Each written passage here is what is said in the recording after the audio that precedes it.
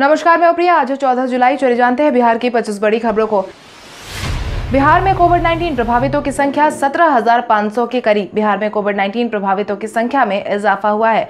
बिहार स्वास्थ्य विभाग के द्वारा बीते दिन जारी किए गए अपडेट के अनुसार 1,116 नए मरीजों की पुष्टि की गई है जिसके बाद बिहार में प्रभावितों की कुल संख्या सत्रह हो गई है। पाए गए मामलों में प्रभावित जिलों की बात करें तो सबसे ज़्यादा पटना में दो सौ अट्ठाईस अररिया में एक अरवल में बीस औरंगाबाद में तीन बांका में तीन बेगूसराय में उनासी भागलपुर में अठहत्तर भोजपुर में तैतीस, बक्सर में एक, दरभंगा में तीन, गया में पैंसठ, गोपालगंज में बाईस, जमुई में अट्ठाईस, जहानाबाद में सत्रह, कैमूर में अठारह, कटिहार में अट्ठाईस, खगड़िया में नौ, किशनगंज में आठ, लखीसराय में सत्रह, मधेपुरा में सात, मधुबनी में इकतालीस, मुंगेर में अड़सठ, मुजफ्फरपुर में छिहत्तर, नालंदा में चौबीस, नवादा में सात, पश्चिम चंपारण में उनचालीस, पूर्वी चंपारण में ग्यारह, पूर्णिया में आठ, रोहतास में इक्यावन, सहरसा में ग्यारह, समस्तीपुर में उनतीस, सारण में आठ, शेखपुरा में पाँच, शिवहर में चार, सीतामढ़ी में छह, सिवान में पचास, सुपौल में तीन, वैशाली में छह मामले सामने आए हैं। वहीं दूसरी तरफ़ इसे ठीक होने वालों की संख्या में भी लगातार बढ़ोतरी देखी जा रही है। मिली जानकारी के अनुसार बिहार में कोविड 19 से अब तक कुल मिलाकर बारह मरीज़ ठीक हो गए हैं।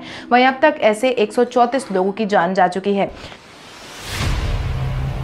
बिहार के सभी जिलों को भेजे गए रैपिड एंटीजन किट बिहार में कोविड 19 की जाँच मात्र आधे घंटे में अब हो जाएगी। बिहार के लोगों को अब कोविड 19 जाँच कराने के लिए 24 से 48 घंटे का इंतज़ार नहीं करना होगा, बल्कि सैंपल देने के आधे घंटे बाद ही आसानी से रिपोर्ट आ जाएगी। आईसीएमआर से अनुमति मिलने के बाद बिहार के सभी जिलों में बीते दिन से एंटीजन किट की मदद से जाँच शुरू हो रही है, जिसके बाद सभी जिलों में रैपिड एंटीजन किट मुहैया करवा दी गई है। जबकि पटना में जाँच शुरू हो चुकी है, जिसके लेकर के स्वास्थ्य मंत्री मंगल पांडे ने भी जानकारी दे दी है और कहा है कि बिहार में चालीस हज़ार किट पहुँच चुके हैं, जिसे सभी जिलों को उपलब्ध करा दिया गया है।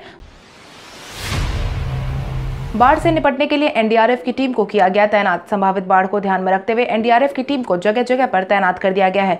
मिली जानकारी के अनुसार राजधानी पटना से सटे बेटा स्थित नौवीं वाहिनी एनडीआरएफ मुख्यालय में इस बार बिहार में बाढ़ को लेकर पूरी तरह तैयार है। एनडीआरएफ के कमांडर विजय कुमार सिन्हा ने इस बात की पुष्टि की है। साथ ही ये भी बताया कि सोलह टीम को संभावित बाढ़ को ध्यान में रखते हुए बिहार राज्य के अलग अलग जिलों में तैनात कर दिया गया है। इतना ही नहीं, उन्होंने यह भी बताया है कि बिहार राज्य आपदा प्रबंधन विभाग की मांग और एनडीआरएफ नई दिल्ली की सहमति से नौवीं वाहिनी एनडी एनडीआरएफ की। कुल बारह टीमों को अभी बिहार राज्य के कई जिलों के लिए रिज़र्व में रखा गया है। बिहार में कोविड 19 के कहर के बीच पटना एम्स में शुरू हुआ वैक्सीन का ट्रायल। बिहार में कोविड 19 से बेकाबू हो रहे खबर के बीच एक अच्छी खबर सामने आई है। बीते दिन से पटना के एम्स में कोविड 19 के वैक्सीन के ट्रायल की प्रक्रिया शुरू कर दी गई है, जिसके बाद पहले सभी लोगों का मेडिकल चेकअप किया जाएगा। उसके बाद गाइडलाइन के अनुसार रिपोर्ट पर पॉजिटिव आने के बाद उन पर वैक्सीन का पहला डोज दिया गया है। वैक्सीन के पहले डोज के बाद अब दूसरा डोज चौदह दिन के बाद दिया जाएगा, जिसके बाद डॉक्टरों की टीम ने उन्हें निगरानी में रखा है, जिसके बाद उन्हें घर भेज दिया गया है। दूसरा डोज चौदह दिन के बाद दिया जाएगा। पटना के गांधी मैदान में ईद के बाद बकरीद की नमाज़ पर भी कोविड 19 का दिखेगा असर। कोविड 19 की वजह से ईद के बाद अब बकरीद भी चपेट में आ गई है। बकरीद की नमाज़ भी सभी लोगों से घर में ही पढ़ने की अपील की गई है। मिली जानकारी के अनुसार बंद में बकरीद की नमाज़ सामूहिक तौर पर अदा करने की इजाज़त नहीं होगी। पटना के गांधी मैदान में इस बार बकरीद की नमाज़ नहीं पढ़ी जाएगी। आपकी जानकारी के लिए आपको बता दें, इकतीस जुलाई या फिर एक अगस्त को बकरीद मनाई जानी है। इक्कीस जुलाई को चाँद आने के बाद ही ये पता चलेगा कि बकरीद की असल तारीख क्या होनी है। बिहार में सात प्राइवेट ट्रेनों के परिचालन की शुरू हुई तैयारी। भारतीय रेलवे ने देश भर के 109 रूटों पर निजी ट्रेन चलाने का फैसला सुनाया था, जिसकी तैयारी ज़ोर शोर से की जा रही है। बिहार में सात प्राइवेट ट्रेनों को चलाने की तैयारी जारी है, जबकि सबसे ज़्यादा मुंबई में सत्रह, दिल्ली में सोलह निजी ट्रेन चलाने पर विचार विमर्श किया जा रहा है। मिली जानकारी के अनुसार बिहार के जिन शहरों में निजी ट्रेन चलाने का फैसला लिया गया है, उन शहरों में अलग अलग जगहों पर उतनी ही ट्रेन वापस भी आएँगी। निजी सेक्टर के ज़रिए ट्रेन परिचालन की शुरुआत अगले साल होनी है जिसके लिए रेल मंत्रालय ने पूरी तैयारी कर ली है। बिजली बिल में इस महीने मिलेगी राहत। कोविड 19 के इस माहौल में बिजली बिल से परेशान घरेलू बिजली उपभोक्ताओं को बड़ी राहत मिलने वाली है, जिसके परिणाम स्वरूप बिजली बिल की राशि स्वतः कम हो जाएगी। इसके लिए उन्हें बार बार दफ्तर के चक्कर लगाने नहीं होंगे। मिली जानकारी के अनुसार बिजली कंपनियों ने कहा है कि इस बार बिहार राज्य विद्युत विनियामक आयोग के निर्णय के अनुसार इस बार बिजली उपभोक्ताओं को लोड बढ़ने से जो पेनल्टी लगी है, उसे माफ़ कर दिया जाएगा। पेनल्टी की वजह से बिजली बिल की राशि काफ़ी बढ़ गई है, जिसके बाद बिजली बिल में पेनल्टी के रूप में ली गई राशि को आय बिजली की राशि से कम कर दिया जाएगा।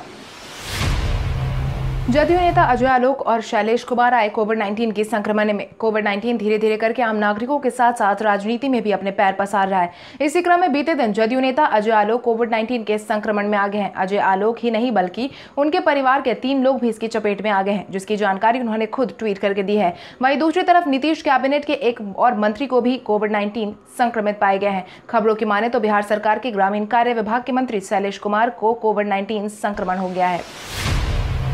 बिहार में गंडक बराज से पानी छोड़े जाने पर बाढ़ की संभावना बढ़ी। बिहार में बाढ़ की संभावना लगातार बढ़ती जा रही है। नेपाल की तराई वाले इलाकों में लगातार हो रही बारिश के बाद नदियाँ उफान पर पहुँच गई है। उत्तर बिहार की ज़्यादातर नदियाँ अब लाल निशान के ऊपर पहुँच गई है। वाल्मीकि नगर स्थित गंडक बराज से लगभग तीन लाख क्यूसेक पानी डिस्चार्ज किया गया है। बिहार में जो नदियाँ लाल निशान के ऊपर बह रही है, उसमें अररिया ज़िले के अंदर परमान नदी लाल निशान के लगभग तिरपन सेंटीमीटर ऊपर बह रही है, जिसके बाद बिहार के कई जिलों में बाढ़ की संभावना काफ़ी ज़्यादा बढ़ गई है। बिहार के कई जिलों में गाँव में पानी भी पहुँच चुका है। जदयू के प्रदेश अध्यक्ष की संयुक्त वर्चुअल बैठक की तैयारी हुई शुरू। जदयू ने आगामी विधानसभा चुनाव को ध्यान में रखते हुए 16 जुलाई को वर्चुअल बैठक बुलाई है, जिसके तहत प्रदेश जनता दल के क्षेत्रीय प्रभारी जिला देव जिला संगठन के बारे में विधानसभा प्रभारी और प्रकोष्ठ के प्रदेश अध्यक्ष की संयुक्त बैठक पर बैठक 16 जुलाई को आयोजित करवाई गई है। पार्टी के राष्ट्रीय महासचिव रामचंद्र प्रसाद की अध्यक्षता में बैठक का आयोजन करवाया गया है। इसके बाद बैठक की तीन पारियों में करवाए जाने की बात कही गई है। प्रथम पाली सुबह दस बजे से ग्यारह बजे तक होनी है, जिसके बाद पश्चिम चंपारण, पूर्वी चंपारण, सीतामढ़ी, मधुबनी, दरभंगा, मुजफ्फरपुर, वैशाली, गोपालगंज सिवान जिला के पदाधिकारी भाग लेंगे। वहीं दूसरी पाली साढ़े ग्यारह से साढ़े बारह बजे तक के बीच में होगी। साथ ही तीसरी पाली एक बजे से लेकर दो बजे तक आयोजित करवाई जाएगी। सीबीएसई की तरफ़ से जारी किया गया बारहवीं का परिणाम। सीबीएसई ने सोमवार को बारहवीं के रिज़ल्ट की घोषणा कर दी गई है। बिहार में छात्रों का परफॉर्मेंस इस बार सराहनीय रहा है। वहीं पटना जोन ने एक बार फिर से निराश किया है। पटना जोन के सीबीएसई परिणाम संतोषजनक रहे हैं। पटना रीजन के चौहत्तर फ़ीसदी छात्र छात्राएँ सफल हुए हैं। हालाँकि खास बात यह है कि इस बार भी सरकारी स्कूल का परफॉर्मेंस काफ़ी बेहतर रहा है। केंद्रीय विद्यालय और जवाहर नवोदय विद्यालय दोनों ही स्कूल के छात्रों का परफॉर्मेंस बेहद ही सराहनीय देखने को मिला है। केंद्रीय विद्यालय शेखपुरा के सौ फ़ीसदी छात्र को सफल सफलता हासिल हुई है। साइंस स्ट्रीम में हर्ष कुमार को छियानवे फ़ीसदी अंक आई है तो वहीं ईशा देव को पंचानवे दशमलव आठ फ़ीसदी और तीसरे स्थान पर आनंद प्रकाश को पंचानवे दशमलव दो फ़ीसदी अंक प्राप्त हुए हैं। बीसीए ने गांगुली से किया बिहार का मुद्दा उठाने का आग्रह। बिहार क्रिकेट एसोसिएशन के चेयरमैन ने बीते दिन बीसीसीआई अध्यक्ष सौरभ गांगुली से अपील की है कि वो 17 जुलाई को होने वाली बोर्ड की शीर्ष परिषद की बैठक में राज्य एसोसिएशन का मुद्दा उठाए। जिला एसोसिएशन के इस बैठक के चेयरमैन मनोनीत किए गए प्रेम रंजन पटेल ने कहा है की बीसीए के अध्यक्ष राकेश कुमार तिवारी गैर संवैधानिक तरीके से और तानाशाह की तरह काम कर रहे हैं। पटेल ने पत्र में लिखा है की मैं बड़ी विनम्रता से आपके सामने बिहार क्रिकेट संघ के अध्यक्ष राकेश कुमार तिवारी के गैर संवैधानिक और तानाशाही तरीके से काम करने की प्रवृत्ति को सामने लाना चाहता हूँ और उम्मीद है कि आपकी तरफ़ से कोई सकारात्मक कदम उठाया जाएगा। रालोसपा नेता आनंद माधव ने सरकार को लिया आड़े हाथ। रालोसपा के प्रधान महासचिव आनंद माधव ने बिहार में संभावित बाढ़ को देखते हुए बिहार सरकार को आड़े हाथों लिया है, जिसके तहत उन्होंने कहा कि बिहार हर साल बाढ़ के प्रभाव को देखता है और झेलता आया है। करोड़ों लोग प्रभावित होते हैं। बड़ी संख्या में जानमाल का नुकसान भी होता है। फ़सल तक बाढ़ की वजह से काफ़ी ज़्यादा बर्बाद हो जाती है, मगर फिर भी बिहार सरकार की सारी परियोजनाएँ सुपर फ्लॉप साबित हुई है। पिछले कुछ सालों के दौरान कई परियोजनाओं के अंतर्गत बड़े काम को देखे गए हैं, लेकिन कई योजनाएँ बनाई गई हैं, लेकिन कोई भी सफल नहीं हो पाया है। that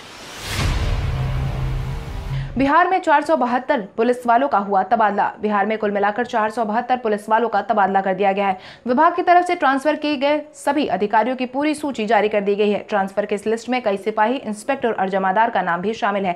मिली जानकारी के अनुसार जिन अधिकारियों का तबादला किया गया है, वो ऐसे पदाधिकारी हैं जो छह साल पूरे हो जाने के बाद भी अपने पद पर कार्यरत हैं, जिसके परिणाम स्वरूप बिहार में रेल पुलिस ने पाँच इंस्पेक्टर, एक सौ अठारह जमादार और तीन सौ उनचास सिपाहियों का तबादला कर दिया है, जिसके लिए नोटिफिकेशन जारी कर दी गई है। संजय कुमार झा ने बिहार और नेपाल के कई जिलों में हल्की बारिश होने की जताई संभावना। संजय कुमार झा ने मौसम विभाग के आलोक में उत्तर बिहार और नेपाल में 16 जुलाई तक हल्की तो कहीं मध्यम बारिश होने का पूर्वानुमान जारी किया है, जिसके तहत संजय कुमार झा ने अपने ट्विटर के माध्यम से एक फ़ोटो भी शेयर की है, जिसमें हल्की और मध्यम बारिश वाले इलाके को ग्रीन और ब्लू कलर से दर्शाया गया है। इतना ही नहीं, उन्होंने यह भी बताया है कि बारिश के कारण बढ़ रहे जल स्तर को ध्यान में रखते हुए डब्ल्यूआरडी के अभियंताओं को सतर्क रहने की अपील की गई है। बिहारी पहचान में हम आज बात करेंगे। गुरमीत चौधरी, जिनका बिहार से है नाता रामायण सीरियल से घर घर में अपनी पहचान बनाने वाले। गुरमीत चौधरी का जन्म कहीं और नहीं, बिहार में ही हुआ था। आपकी जानकारी के लिए आपको बता दें, गुरमीत चौधरी का जन्म बिहार के भागलपुर ज़िले में हुआ था, जिसके बाद उन्होंने साल 2008 में रामायण सीरियल में काम किया था, जिसके बाद ही उन्हें घर घर में पहचान मिल गई थी। गुरमीत चौधरी ने सिर्फ़ रामायण ही नहीं, बल्कि पुनर्विवाह और गीत जैसे सीरियल में भी काम किया है। इसके साथ ही गुरमीत चौधरी ने खामोशिया फ़िल्म में भी काम किया है। इतना ही नहीं उन्होंने झलक दिखला जा के पांचवा सीज़न भी अपने नाम दर्ज किया था। झारखंड के बीच कई ट्रेनों को किया गया बंद। बिहार से झारखंड की आवाजाही करने वाले ट्रेन यात्रियों के लिए अहम सूचना। बीते दिन से पटना रांची, पटना जनशताब्दी एक्सप्रेस और दानापुर टाटा टाटा नगर दानापुर एक्सप्रेस नहीं चलाई जा रही है। यह ट्रेन अगले आदेश तक के लिए कैंसिल कर दी गई है। जनशताब्दी एक्सप्रेस पटना से गया तक चलेगी। झारखंड में यह ट्रेन कैंसिल रहेगी, जिसके बाद पटना से रांची और दानापुर से टाटा आने जाने वाले यात्रियों के लिए मुश्किलें काफ़ी ज़्यादा बढ़ गई है। मिली जानकारी के अनुसार कोविड नाइन्टीन के बढ़ते संक्रमण को देखते हुए यह फैसला लिया गया है। बिहार के बक्सर ज़िले में कोविड 19 प्रभावितों की संख्या को देखते हुए 17 जुलाई तक बढ़ा लॉकडाउन बिहार के बक्सर ज़िले में लगातार कोविड 19 प्रभावितों की संख्या बढ़ती जा रही है। हालात यही रहे तो स्थिति ज़िले में काफ़ी ज़्यादा खराब हो सकती है। जिला प्रशासन ने संक्रमण को लेकर अपनी चिंता भी ज़ाहिर की है। इसके बाद जिला पदाधिकारी अमन समीर के आदेश पर बंदी का आदेश सत्रह जुलाई तक बढ़ा दिया गया है। सूचना, सह जनसंपर्क पदाधिकारी कन्हैया कुमार ने बताया कि अठारह नए लोगों में कोविड नाइन्टीन पॉजिटिव पाए गए हैं, जिसके बाद ही लॉकडाउन की तारीख को बढ़ाने का फैसला लिया गया है। पथ निर्माण मंत्री ने पटना और छपरा के बीच गंगा नदी पर दो और पुल बनाने की दी स्वीकृति। पथ निर्माण मंत्री ने पटना और छपरा के बीच गंगा नदी पर दो और पुल जल्द बनाने की स्वीकृति दे दी है, जिसके तहत आने वाले दिनों में राज्य में यातायात सुविधा और ज़्यादा सुगम बनाने के लिए मुख्यमंत्री नीतीश कुमार की पहल पर यह फैसला लिया गया है। मंत्री नंदकिशोर यादव ने बताया कि आने वाले दिनों में एक मनेर तो दूसरा देघा में पुल बनने जा रहा है, जो छपरा से सीधे तौर पर जुड़ेगा और साथ ही राजधानी और किसी अन्य दूसरे राज्यों से आने वाले को गांधी सेतु पुल में जाम से निजात भी मिलेगी और लंबी लंबी कतार में खड़ा नहीं होना पड़ेगा। बोधगया के एक बिजनेसमैन ने चाँद पर खरीदी ज़मीन। बिहार के बोधगया में रहने वाले नीरज कुमार ने अपने जन्मदिन पर चाँद पर एक एकड़ ज़मीन की खरीदारी की है, जिसके बाद चाँद पर ज़मीन खरीदने वाले नीरज बोधगया के पहले युवक बन गए हैं। अपने बचपन से उन्होंने चाँद पर जाने की इच्छा ज़ाहिर की थी, जिसके बाद उन्होंने चाँद पर जा तो नहीं सकते थे, मगर वहाँ पर उन्होंने ज़मीन खरीद ली है, जिसके बाद अब यूएस की एक सोसाइटी लोनर के द्वारा ऑनलाइन चाँद पर ज़मीन की खरीद बिक्री के बारे में जानकारी मिली, जिसके बाद ही उन्होंने यह ज़मीन खरीदी है। जदयू के वर्चुअल रैली को तेज प्रताप यादव ने उड़ाया मज़ाक, जहाँ बिहार में विधानसभा चुनाव को टालने की बात ज़ोर शोर से की जा रही है। वहीं दूसरी तरफ़, भाजपा और जदयू बिहार विधानसभा की तैयारियों में जुट गए हैं। सीएम नीतीश कुमार आने वाले सात अगस्त को वर्चुअल रैली भी करने वाले हैं। इसी बीच राजद नेता तेज प्रताप यादव ने सीएम नीतीश कुमार के होने वाले वर्चुअल रैली पर मज़ाक उड़ाया है, जिसके तहत उन्होंने अपने ट्विटर के माध्यम से लिखा कि जनता नहीं आएगी, बातों में दर्द देगी, इस बार आपके आंतों में। आगे नीतीश कुमार की फ़ोटो लगाई गई है, जिसमें लिखा गया है, जनता त्रस्त, नीतीश कुमार वर्चुअल रैली में मत पटना एम्स की चौखट पर तड़पते मरीजों के वीडियो को तेजस्वी यादव ने किया ट्वीट। बिहार में कोविड 19 की स्थिति बेलगाम बढ़ती जा रही है। वहीं अस्पतालों की हालत देख करके लोगों को ज़रूरत से ज़्यादा परेशानी बढ़ गई है। जिसके बाद पटना एम्स की एक वीडियो नेता प्रतिपक्ष तेजस्वी यादव ने शेयर की है। वीडियो शेयर करके उन्होंने कैप्शन में लिखा है कि पटना एम्स के फुटपाथ पर लेटा व्यक्ति कोविड नाइन्टीन पॉजिटिव है। सरकार, प्रशासन और अस्पताल कोई नहीं सुन रहा है। बिहार में कोविड नाइन्टीन की हालत बुरी तरह बढ़ती जा रही है। आने वाले दिनों में स्थिति बेकाबू होने वाली है। सरकार जाँच नहीं कर रही है। कर भी रही है तो आंकड़े छुपा रही है। यह भगवान ही अब बिहार को बचा सकते हैं। सुपर थर्टी के एक साल पूरे होने पर ऋतिक रोशन ने इस सफलता को बताया संतोषजनक सुपर थर्टी के एक साल पूरे हो गए हैं। गणित प्रतिभा आनंद कुमार पर आधारित यह फ़िल्म एक साल पहले रिलीज़ हुई थी। फ़िल्म के मुख्य अभिनेता ऋतिक रोशन ने अपनी भूमिका और परफॉर्मेंस के लिए हर ओर से सराहना भी बटोरी थी। अपने अनुभव को साझा करते हुए उन्होंने लिखा है कि विश्वास नहीं होता कि एक साल हो गए हैं। मेरे लिए सुपर थर्टी की सफलता अन्य फ़िल्मों की सफलता की तुलना में अधिक संतोषजनक रही है। चीन ने उठाया उनसठ चीनी ऐप्स पर प्रतिबंध लगाने का मुद्दा। भारत चीन के बीच सीमा विवाद लगातार बढ़ता जा रहा है, जिसके बाद चीन ने नई दिल्ली के साथ उनसठ चीनी ऐप पर लगाए प्रतिबंध का मुद्दा उठाया है। मिली जानकारी के अनुसार भारत के साथ हाल ही में हुए द्विपक्षीय वार्ता में यह मुद्दा उठाया गया है। भारत ने पिछले दिनों टिकटॉक समेत उनसठ चीनी ऐप्स पर प्रतिबंध लगा दिया था, जिसके बाद मीडिया हाउस ने बताया कि राजनीतिक स्तर की एक बैठक के दौरान चीनी पक्ष ने भारत में अपने मोबाइल ऐप्स पर बैन का मुद्दा उठाया है, जिसके बाद सरकार की तरफ़ से जारी किए गए बयान में कहा गया है कि भारत की राष्ट्रीय सुरक्षा के प्रति गलत भावना रखने वाले तत्वों पर प्रतिबंध लगाया जाएगा। अंतर्राष्ट्रीय निवेशकों के कानूनी अधिकारों की रक्षा करना भारत का कर्तव्य है। कृष्णमाचारी श्रीकांत ने सौरभ गांगुली को दिया विश्व कप में मिले जीत का श्रेय। भारतीय क्रिकेट टीम के पूर्व कप्तान कृष्णमाचारी श्रीकांत ने सौरभ गांगुली को साल 2011 में विश्व कप में मिली जीत का जिम्मेदार बताया है, जिसके तहत गांगुली ने भारतीय टीम की मानसिकता और खेलने का रवैया बदलने की बात कही है। स्टार स्पोर्ट्स से बातचीत के दौरान श्रीकांत के साथ गौतम गंभीर, ग्रिम स्मिथ और कुमार संगकारा भी मौजूद थे, जहाँ पर यह सभी खिलाड़ी भारतीय क्रिकेट में आए। बदलाव और सौरभ गांगुली और महेंद्र सिंह धोनी द्वारा छोड़ी गई विरासत पर चर्चा कर रहे थे। उन्होंने कहा कि गांगुली ने बहुत मुश्किल वक्त में कप्तानी संभाली है। उन्होंने पूरी टीम की मानसिकता बदल दी थी। हमारे द्वारा पूछे गए सवाल का जवाब आप में से बहुत सारे यूज़र ने हमें कमेंट करके दिया था। उसके लिए आपका बहुत बहुत धन्यवाद। आप में से जिन यूज़र का जवाब हमें अच्छा लगा है, उनके नाम है उजाला चौधरी, दिनेश कुमार, कुंदन कुमार, धर्मेंद्र कुमार, मनोज कुमार, पूजा कुमारी, दिव्यांशु कुमारी, नीतीश कुमार, सागर कुमार, बबलू थानेदार, रमाशंकर कुमार, हैदर अली, मोहम्मद सज्जाद। इसके अलावा हमारी टीम को अभी लोगों के जवाब अच्छे लगे हैं, मगर समय के अभाव के कारण हम उनका नाम नहीं ले पाए। लेकिन आप हमारे सवालों का जवाब देते रहे। हम कल आपका नाम लेने की पूरी कोशिश करेंगे। तो चले बढ़ते हैं आज के सवाल की ओर। आज का सवाल कुछ इस प्रकार है। आपके अनुसार बिहार में कोविड नाइन्टीन के बेलगाम बढ़ते मामलों को देखते हुए संपूर्ण लॉकडाउन लगाना चाहिए या नहीं? अपने जवाब हमें कमेंट करके ज़रूर बताएँ। इसके साथ ही आज के लिए बस इतना ही। अगर आप ये वीडियो हमारा यूट्यूब पर देख रहे हैं तो हमारे चैनल को सब्सक्राइब करें और बेल आइकॉन दबाना ना भूलें। और अगर आप ये वीडियो हमारा फेसबुक पर देख रहे हैं तो इस वीडियो को लाइक करें और ज़्यादा से ज़्यादा शेयर करें। धन्यवाद।